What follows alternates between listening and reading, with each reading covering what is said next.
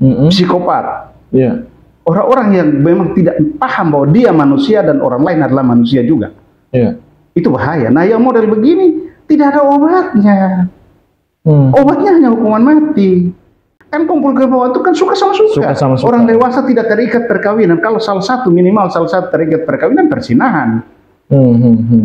Maka itu jelas delik susila. Hmm. Tetapi kalau orang dewasa suka sama suka mengganggu siapa? Siapa? Siapa yang Siapa yang dirugikan rugi? kan? Siapa yang jadi korban dan siapa yang jadi pelaku? Hmm,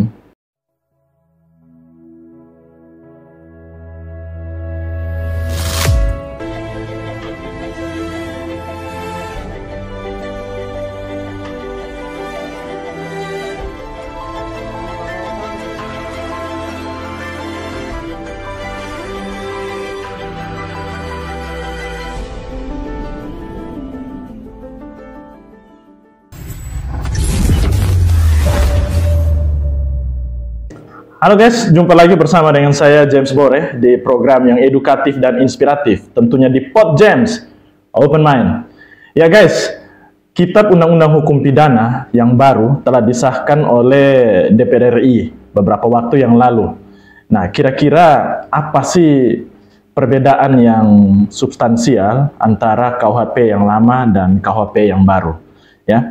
Dan tentunya topik yang menarik ini akan kita bahas bersama dengan narasumber yang kompeten di bidangnya yaitu pengamat hukum pidana Fakultas Hukum Undana Kupang Bapak Dedi Manafe SH Hum. Selamat sore Pak Dedi. Selamat sore Kak James, selamat sore para penonton. Ya, Pak Dedi, ini kan seperti yang kita ikuti di apa pemberitaan bahwa Kitab Undang-Undang Hukum Pidana sudah Oh. disahkan yang baru ini. Nah, kira-kira menurut Pak Dedi ini apa sih hal yang paling esensi uh, dari Kitab Undang-Undang Hukum Pidana yang baru ini uh, dalam hal perbedaannya dengan KUHP yang lama? Iya, jadi yang pertama KHP yang lama itu merupakan eh, penerjemahan terhadap Wetboek van Strafrecht for Netherlands ini Mhm. atau yang kemudian oleh Undang-Undang Nomor 1 Tahun 46 dibaca sebagai Kitab Undang-Undang Hukum Pidana atau yang kita sebut KUHP. Ya. Nah, ini eh, berlakunya WVS ini yang kemudian disebut sebagai KUHP berdasarkan asas konkordansi, Hmm. asas yang dipersamakan, konkordan dipersamakan. Nah, di mana eh, WVS ini sesungguhnya merupakan eh, penyesuaian daripada WVS Belanda yang berlaku di Belanda, Ya. kemudian dibawa ke eh, Hindia Belanda Hmm. dan eh, dilakukan penyesuaian dengan kondisi di Hindia Belanda. Ya. Itulah asas konkordan. Nah, ketika kita merdeka, pasal 2 aturan peralihan Undang-Undang Dasar eh, memberlakukan KUHP ini. Karena Ya. kita belum punya, maka tetap memberlakukan eh, KUHP Belanda ini. Ya. Nah, kemudian oleh Undang-Undang Nomor 1 Tahun 46 itu dibaca sebagai KUHP. Hmm. Tapi Indonesia tidak punya terjemahan resmi. Ya. Yang ada adalah terjemahan versi para ahli. Hmm. Dan sampai kurang lebih 70 tahun ya. eh, kalau kita dari tahun 46 potong masa revolusi Ya. namun, eh, sekitar eh, 6-7 tahun itu, maka sekarang ya sekitar 70 tahun lah. Eh, Indonesia menghukum rakyatnya, negara ini menghukum rakyatnya berdasarkan KUHP terjemahan para ahli. Bukan KUHP negara, Hmm. KUHP terjemahan para ahli. nah, para ahli. Hmm, hmm, hmm. Dan dengan ber- eh, adanya KUHP baru ini, ini berarti negara dalam tanda petik mengambil alih tanggung jawab bahwa kalau mau menghukum rakyatnya harus berdasarkan undang-undang yang diproduksi oleh negara sendiri, Hmm, bukan terjemahan. Ini tuh poin eh, substansial yang sangat mendasar sekali. Ya. Yang pertama, yang kedua bahwa eh, ini juga menjadi agak kontroversi ya. Nanti kita lihat eh, di dalam naskah akademiknya juga dalam poin menimbang A-nya eh, di situ eh, dikatakan legitimasi filosofisnya bahwa KUHP ini menjunjung tinggi dan menghormati hak asasi manusia berdasarkan Pancasila. Lima sila disebut. Hmm, hmm. Nah, eh, dari segi penempatan seperti ini menunjukkan bahwa eh, dalam tanda petik bisa dibaca HAM itu lebih tinggi posisinya daripada ideologi Pancasila. Oh begitu. Ah, mestinya kita harus lihat bahwa uh, undang uh, apa uh, filosofi daripada KUHP ini adalah Pancasila, kemudian baru HAM kan begitu harusnya kan begitu. Apa mungkin maksudnya nah. adalah menjunjung tinggi hak asasi manusia berdasarkan yang terkandung dalam Pancasila? Nah, karena persoalannya adalah hmm. sila pertama sampai ke sila kelima itu jauh lebih tinggi daripada HAM. Hmm, hmm, hmm. Kita ambil contoh sederhana saja bahwa pasal-pasal nanti konstruksi pasal-pasal yang konon katanya bersumber dari HAM yeah. itu hanya berkaitan dengan sila kemanusiaan yang adil dan berada. Hmm, hmm, hmm. Kemanusiaan yang adil dan berada berarti hanya satu sila. Hmm, hmm. Kan begitu? Yeah, yeah. Nah, oleh karena itu mestinya posisinya itu harus dipertimbangkan kembali.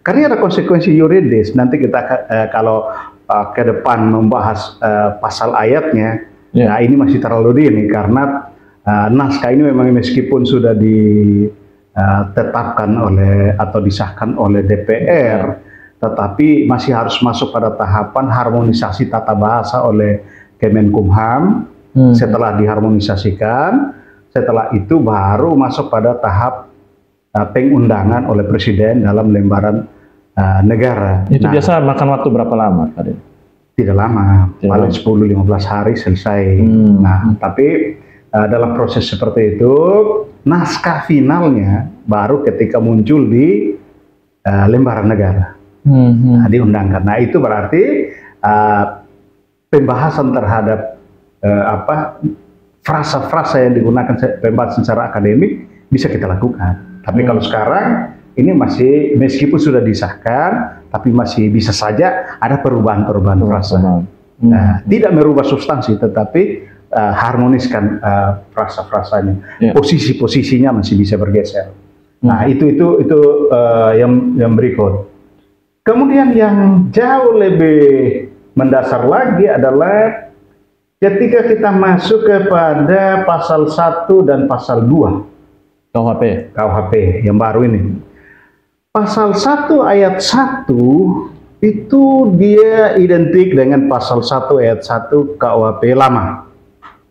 Hanya tambah plus uh, tindakan saja, frasa tindakan. Karena kalau yang lama hanya ada pidana pokok dan pidana tambahan. Mungkin Bapak bisa baca sedikit pasal 1. Nah, jadi pasal 1 ayat 1 di situ dikatakan tidak ada satu perbuatan pun yang dapat dikenai sanksi pidana dan atau tindakan. Nah ini dan atau tindakan ini adalah penambahan baru. Mm -hmm. Kecuali atas kekuatan peraturan pidana dalam peraturan perundang-undangan yang telah ada sebelum perbuatan dilakukan. Nah ini jadi istilahnya asas legalitasnya, mm -hmm. formil, asas legalitas formil uh, hanya yang tercantum di dalam undang-undang yang bisa dikenakan pidana. Uh, pidana. pidana. Nah, ini persis asas nullum delictum, asas ya. legalitas dalam uh, pasal 1 ayat 1 KUHP lama. Hmm, hmm. Nah, kemudian kita loncat ke pasal 2 ayat 1 ketentuan sebagaimana dimaksud dalam pasal 1 ayat 1 tidak mengurangi berlakunya hukum yang hidup dalam masyarakat yang menentukan bahwa seseorang patut dipidana walaupun perbuatan tersebut tidak diatur dalam undang-undang ini. Jadi perbuatan pidana tidak diatur dalam KUHP yang baru, iya, tapi bisa dipidana. Bisa dipidana berdasarkan hukum yang hidup dalam masyarakat. Hukum yang hidup dalam masyarakat. Nah, inilah asas legalitas material yang KUHP lama tidak kenal ini. Tidak tidak kenal ini. Ya, di luar yang tidak tertulis maka itu bukan uh, perbuatan pidana. Perbuatan pidana. Mm -hmm. Tapi nah, sekarang justru dimungkinkan. Nah, itu. kemudian uh, kalau kita lihat ayat 2-nya, hukum yang hidup dalam masyarakat sebagaimana dimaksud pada ayat 1 berlaku dalam tempat hukum itu hidup dan sepanjang tidak diatur dalam undang-undang ini dan sesuai dengan nilai-nilai yang terkandung dalam Pancasila Undang-Undang Dasar Negara Republik Indonesia tahun 1945, hak asasi manusia dan asas hukum umum yang diakui masyarakat beradab. Hmm. Nah, ini kita lihat ya, ketidakkonsistenan. Ya. Jadi tadi yang di uh, asas legal uh, di uh, legitimasi filosofis itu HAM duluan baru Pancasila. Ya. Di sini jelas Pancasila Undang-Undang Dasar baru HAM. HAM. Kemudian asas-asas umum Hmm. dalam masyarakat yang beradab. Jadi Pancasila itu ideologi kita posisi lebih tinggi. Lebih tinggi. Nah ini ke- kelihatan tidak konsisten kan? Hmm. hmm. Ah, Nah, itu satu. Yang kedua adalah eh, hukum yang hidup di masyarakat itu berlaku di tempatnya. Tempatnya. Pertanyaannya adalah hukum hidup dan masyarakat seperti apa sih? Yang pasti adalah di luar daripada Hukum positif. hukum positif. Berarti bisa jadi hukum adat yang dimaksud. Hukum adat bisa dimaksud atau hukum agama. Oh, hukum agama juga merupakan Ya aturan kan di luar daripada hukum Hmm. eh, positif. hukum yang berlaku di masyarakat. Hukum yang berlaku di masyarakat. Hmm, hmm, hmm. Dalam artian kan begini, eh, orang kemudian berpikir bahwa oh yang yang tidak tertulis saja. Siapa bilang bahwa hukum adat itu tidak tertulis? Hmm. Ada juga hukum adat yang tertulis. Iya, iya. Eh, di komunitas-komunitas tertentu hukum adatnya tertulis. Hmm, hmm. Seperti masyarakat Bali itu logika sanggraha itu tertulis. Hmm, iya, iya. Nah, kemudian eh, hukum agama, misalnya eh, agama Islam misalnya. Berarti misalnya dalam satu daerah yang mungkin kental dengan apa budaya Islam bisa menerapkan syariat Islam. Hukum Islam kan berlaku seluruh Indonesia. Oh begitu.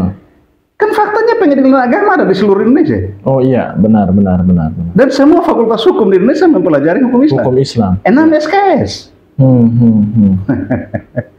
di situ ada enam SKS tuh seluruh, minimal enam SKS. Iya, iya. Ada tiga mata kuliah. Berarti ketika satu perbuatan pidana tidak diatur dalam KUHP tapi diatur dalam hukum Islam, maka bisa diterapkan pada yang bersangkutan itu. Nah, jadi begini.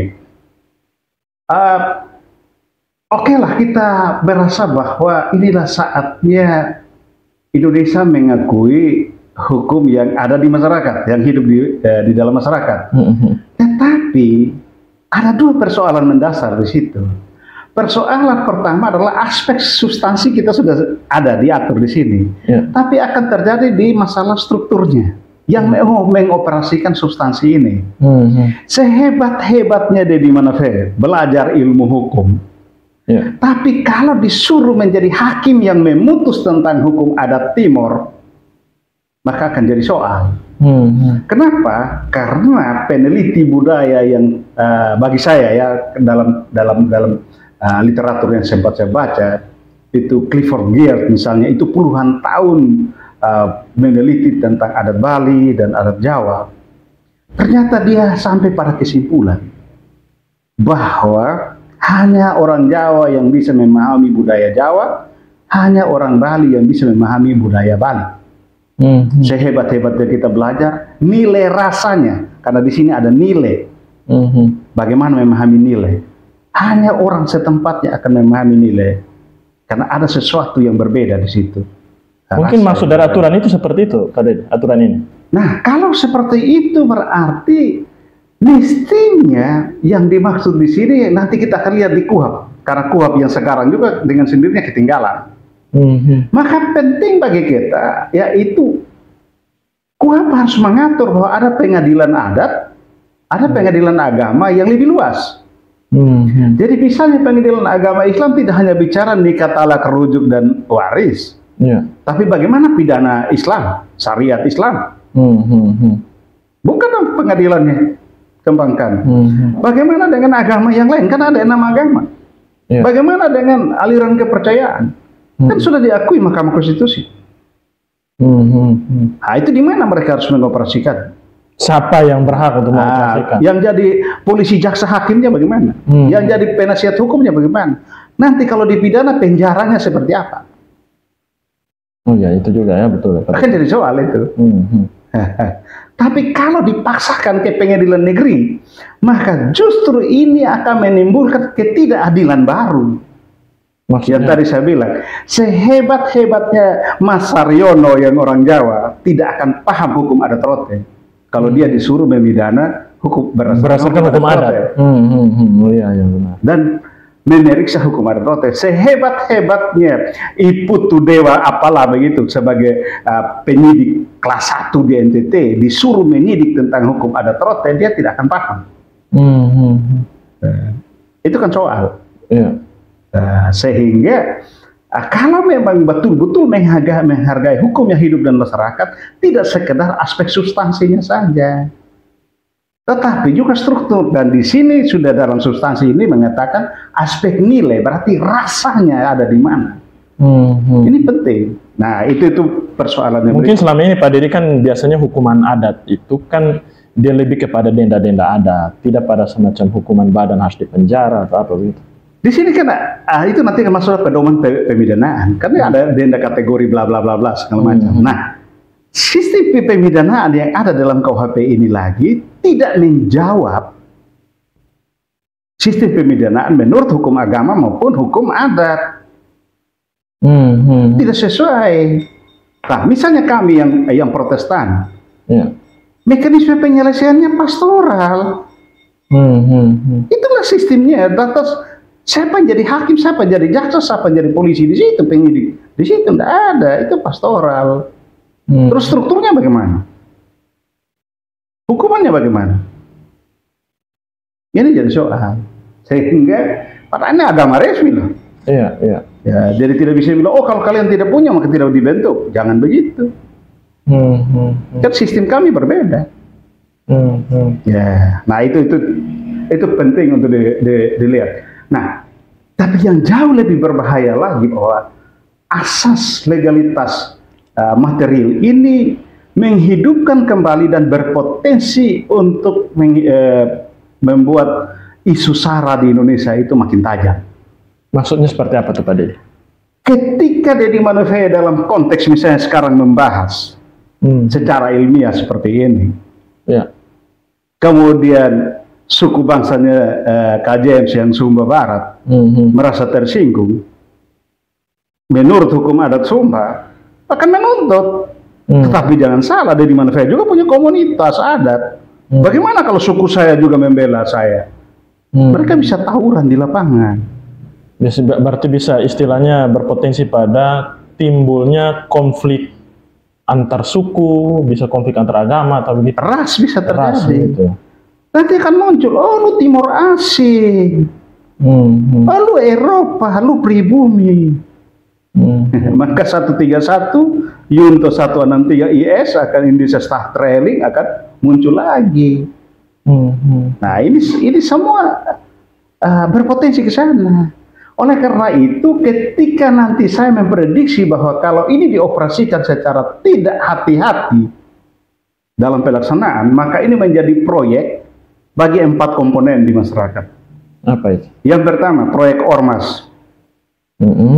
Ya mudah-mudahan kalau ormas yang sekarang ormas baik-baik semua karena sudah tersaring yang tidak sesuai Pancasila kan sudah dibubarkan, dibubarkan. seperti HTI dan lain-lain, mm -hmm. FPI itu kan dibubarkan. Mm -hmm. Tapi yang lain kan sisa baik-baik. Nah, saya tidak uh, tidak yakin bahwa kalau yang bentukan-bentukan berikut yang dadakan akan jadi baik karena ini mereka akan melihat bahwa yang mampu mengerahkan massa Ya. Karena nanti hakimnya akan menilai bahwa oh ini sesuai dengan perasaan keadilan masyarakat.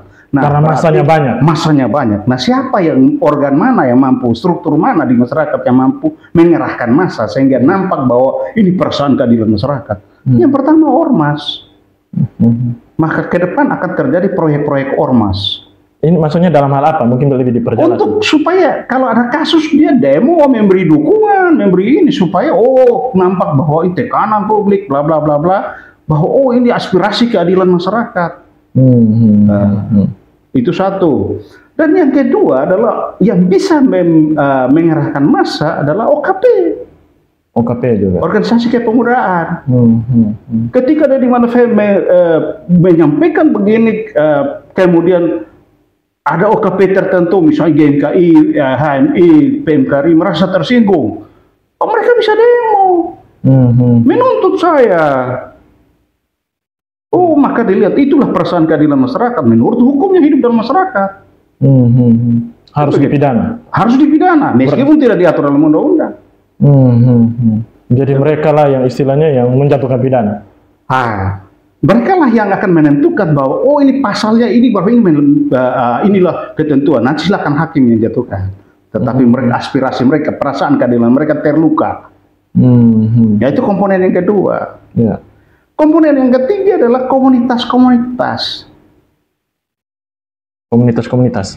Ya, Contohnya apa nih? komunitas-komunitas misalnya komunitas suku Rote, Hmm, paguyuban begitu. paguyuban-paguyuban, Hmm. ya, Gemenschaft kan gitu. Iya. Itu kan muncul. Ya saya makanya saya lagi berpikir saat kalau ini efektif berlaku tiga tahun ke depan, sekarang saya mau pulang kampung merintis untuk uh, suku saya harus bangkit, bikin organisasinya supaya kalau ada apa-apa kita ribut. Ya kan? Oh ya, Mana fee aja tujuh ribu di Rote. Yang keempat adalah organisasi kemahasiswaan. Dan ini paling berbahaya. Kenapa? Hmm. Karena berapa presiden kita yang dilengsarkan gara-gara demo mahasiswa. Hmm, hmm, hmm. Mahasiswa itu sangat ditakuti. Bahkan RKUHP ini ditunda berkali-kali disahkan karena demo mahasiswa. Mahasiswa. Hmm, hmm, hmm. Nah, nah, mudah-mudahan BMBLN yang ada sekarang atau dewan-dewan mahasiswa yang ada, presiden mahasiswa yang ada, ini masih orang-orang baik seperti sekarang. Hmm. Tapi saya tidak yakin ke depan. Iya. Kalau ini berjalan, kenapa? Karena ini memberi kuasa kepada mereka untuk menentukan hitam putihnya hukum. Betul, betul. Kalau selama ini mereka memperjuangkan supaya hukum ini tegak sesuai keadilan pada masyarakat, Hmm. tapi ketika diberikan kuasa bahwa kalianlah penentu hukum akan jadi soal. Berarti boleh dibilang nanti bisa berpotensi pada munculnya pengadilan jalanan begitu? Iya. Atau beda? Nah, kalau pengadilan jalanan itu ceritanya lain lagi. Hmm. Itu persoalan berikutnya itu ketika kita bicara tentang eh, hukuman mati. Hmm, hmm. Ketika hukuman mati dialternatifkan, Hmm. Dialternatifkan sehingga kalau yang bersangkutan uh, menjalani pidananya di dalam uh, lembaga pemasyarakatan sambil menunggu pelaksanaan pidana mati, dia berkelakuan baik, maka dia pidananya bisa dirubah menjadi 20 tahun. Kemudian Atau kalau dia saja. lebih baik lagi, maka mendapat remisi remisi. Nah, ini berpeluang untuk pengadilan jalanan. Hmm, hmm. Maksudnya? Artinya apa? Kalau bagi pelaku yang kita su- sudah pernah bahas bahwa ada orang-orang yang kalau lapar secara naluri dia mencuri, maka orang-orang seperti itu bisa di eh, apa bisa di, eh, dipidana dia akan tobat. Hmm, hmm, hmm. Ada orang-orang yang secara rasional nalar dia melakukan tidak pidana karena dia berhitung untung rugi, maka itu dia tidak cukup hanya sekedar pembinaan Hmm, hmm. itu harus ada upaya lain. Maka itu teman-teman psikolog harus lebih mengintervensi. Hmm. Teman- Teman-teman itu harus mengintervensi karena itu sakitnya di cara berpikir, cara berpikir dia yang salah. Makanya muncullah di perilaku. Tapi yang lebih parah lagi adalah orang-orang yang nuraninya memang sudah tidak ada. Hmm, hmm. Psikopat. Iya. Orang-orang yang memang tidak paham bahwa dia manusia dan orang lain adalah manusia juga. Iya. Itu bahaya. Nah yang model begini tidak ada obatnya. Hmm. Obatnya hanya hukuman mati.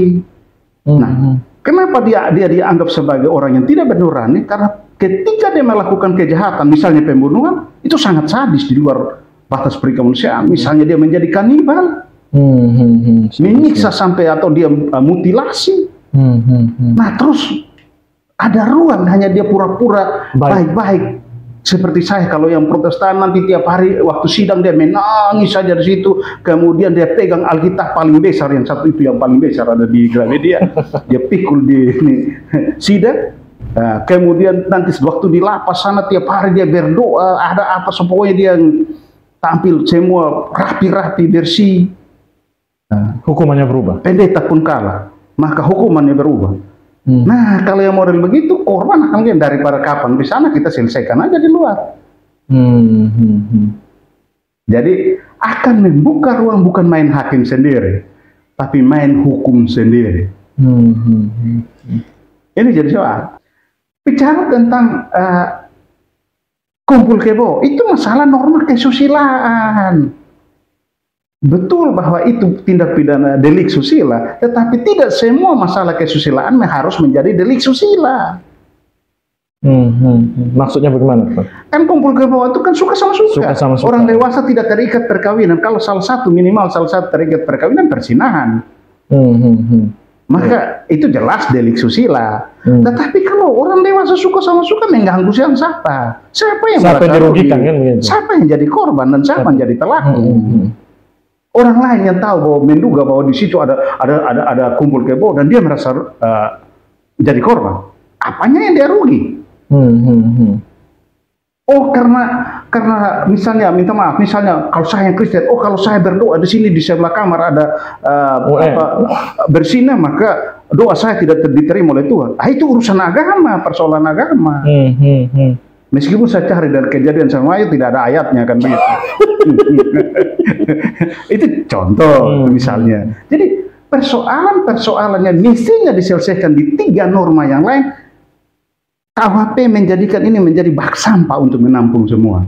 Dan seolah-olah ini menjadi undang-undang super yang harus menanggulangi semua masalah di masyarakat. Lantas tiga norma yang lain bikin apa? Iya, iya. iya. Ini soal. Hmm. Dan ini berdampak pada semua orang merasa punya hak untuk menghakimi orang lain, kan begitu. Akhirnya mana itu? Main hukum sendiri. Hmm, hmm. Itu, Iya, itu iya. jadi soal. Nah, Pak Dedi, nah ini kan juga pemerintah bilang begini, jika ada yang tidak puas kan silakan gugat ke MK. Nah, itu pernyataan yang bagi saya eh, negara ini mau mau mau memisahkan diri dengan rakyatnya, jadi menjadi dua subjek yang berhadapan-hadapan. Hmm, hmm. Pemerintah itu abdi, pelayan. Iya. Tuan rumah di negara ini adalah rakyat. Hmm, hmm. Maka apa susahnya sih sang pelayan mengikuti kehendak rakyat? Tapi anehnya misalnya pasal santet ini dari tahun 62 ketika mulai munculnya rancangan KUHP pertama Iya. mulai konsep mulai dari BPHN kemudian 63 munculnya konsep pertama mulai bicara tentang santet. Dan mulai ada reaksi pada dari zaman itu. Tapi anehnya negara ini mempertahankan pasal-pasal yang harusnya dibuang saja. Apa susahnya? Makanya ada sejumlah pasal yang uh, sekarang diutak-atik oleh masyarakat. Kenapa sih harus dipertahankan dibawa terus? Hmm, hmm, hmm. Apa ruginya kalau DPR membuang pasal itu? Apakah KUHP ini tidak bisa jadi KUHP? Iya. Makanya 2019 ketika mahasiswa dan pelajar terutama STM mendemo pasal-pasal kontroversi ini, pasal-pasal krusial, kenapa tidak dicoret saja? Toh masih ada ratusan pasal yang masih bisa dipakai sebagai KUHP. Iya. Tapi ada apa sehingga harus dipasahkan, dibawa? Ini eh, muatan yang dianggap eh, tidak cocok ini kok dipaksakan terus. Hmm. Ada apa di sini? Ya ini ilmu saya tidak cukup sampai situ. Hmm, hmm, hmm. Ya kalau debatku di luar saya bersedia, tapi ini kan ilmiah atau jadi jangan. Oke Pak Dedi, kita sudah sampai di akhir ini. Kira-kira menurut Anda sendiri sebagai seorang pengamat hukum pidana melihat KUHP ini, solusi terbaiknya seperti apa Pak Dedi? Yang pasti eh, kita akan eh, kalau debat atau diskusi seperti ini kan hanya asumsi ilmiah, kita Iya. membangun asumsi ilmiah, tapi akan teruji dalam kasus. Hmm. Ketika penerapan di lapangan akan teruji. Ini kan diterapkan tiga tahun ke depan. Tiga tahun ke depan, tiga tahun ke depan kita akan menikmati apakah dia ini berkat atau musibah. Musibah. Nah, paling tidak ketika K- eh, KUHAP ya tahun 81 dia diberlakukan itu dianggap bahwa ini paling mutakhir. Ternyata ketika KUHAP itu diterapkan secara benar dalam tanda petik, mohon maaf kasus Penkase, Hmm. itu menjadi bukti bahwa KUHAP ini tidak mampu mengungkap misteri kematian Astrid dan Lail secara kebenaran material. Hmm, hmm. Meskipun putusan Irawa belum, tapi Iya. Randy sudah. Tapi sampai sekarang saya mau katakan bahwa itu bukti eh, dalam sejarah yang saya tahu di Polda NTT satu NTT ini Polda NTT dalam kasus Penkase itulah KUHAP diterapkan secara benar Hmm, hmm. sesuai dengan perintah KUHAP. Tetapi justru di situlah terbukti bahwa tanpa perlakuan dalam tanda petik melanggar HAM terhadap tersangka, maka fakta-faktanya tidak mendukung proses yang ada. Saya ambil contoh paling sederhana. Nanti KUHP ini sudah harus mewajibkan unsur motif, unsur dampak dan segala macam harus dibuktikan. Modus semua harus dibuktikan. Hmm. Yang tidak wajib dibuktikan dalam KUHP lama. Hmm, hmm, hmm. Ini kalau hanya mengandalkan KUHP yang sekarang, maka saya yakin ke depan tidak ada kasus yang bisa, Di- yang kasus yang model PNKC yang bisa terbukti secara sah dan meyakinkan karena unsur deliknya tidak terpenuhi. Hmm, hmm. Susah untuk buktikan motif. Motifnya tidak akan. Itu poin pertama di dalam eh, KUHP baru. Hmm. Untuk delik pertama motif harus dibuktikan. Modus harus dibuktikan. Hmm, hmm, Nah, hmm. itu semua harus dibuktikan semua. Hmm, hmm. Kemudian pada akhirnya dampak. Ini bahaya. Hmm, Ini semua harus dibuktikan. Dan ini memberi beban. Kalau dengan mengandalkan UHAP dan metode penyidikan seperti yang diatur dalam KUHAP, delik-delik model PNKC, PTS, hmm, hmm. itu prediksi saya. Oke. Terima kasih. Baik, terima kasih Pak Dedi untuk waktu dan penjelasan yang luar biasa sudah mau memberi pemahaman kepada para penonton Pod James di mana saja berada. Oke guys, demikianlah bincang-bincang uh, saya bersama dengan Pak Dedi Manafe. Semoga apa yang Anda dengar hari ini bisa menambah wawasan Anda terhadap uh, kitab undang-undang hukum pidana yang baru disahkan oleh DPR. Oke, itu saja dari kami berdua. Saya James Boreh bersama Pak Dedi pamit. Sampai jumpa. Sampai jumpa.